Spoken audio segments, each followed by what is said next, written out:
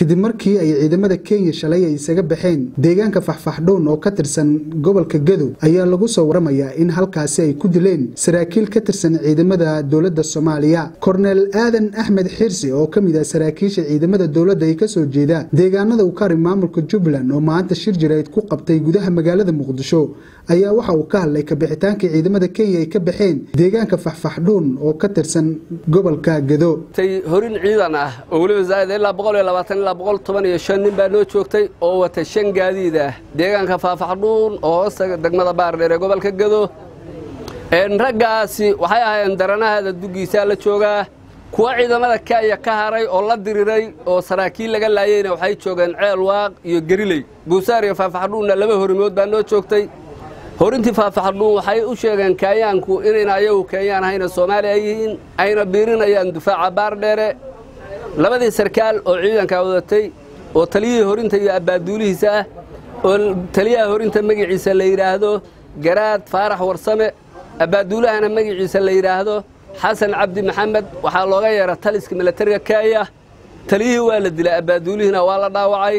Ciidankana urur taangiye iyo diyaaradu taa lagu hereereeyo hubkii baa laga dhigo asagoo maxaabiistaha dalka kenya lala aaday welina xogta aan hayno ciidankii kenya ee ciiddiisa u noqday cadowga ah weli ma uusan gaarin xuduudda.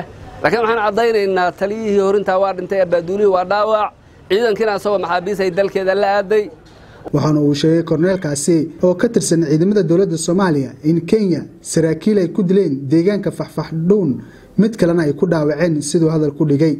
Waxaana sidoo kale uu sheegay in kenya tanii markii ay soo gashay gudaha soomaaliya ay dhibaatooyin ka geysteen deegaanada ukari maamulka jubbaland isagoona si gaar ah u tilmaamay in ciidamada kenya ay shalay ay dileen taliyihii ciidamada xoogga dalka ee ku magacaabnaa deegaankaasi iyo sidoo kale abbaanduulaha ciidamada xoogga oo asna ku sugnaa deegaankaasi halkaas oo uu tilmaamay in uu ku dhaawacay.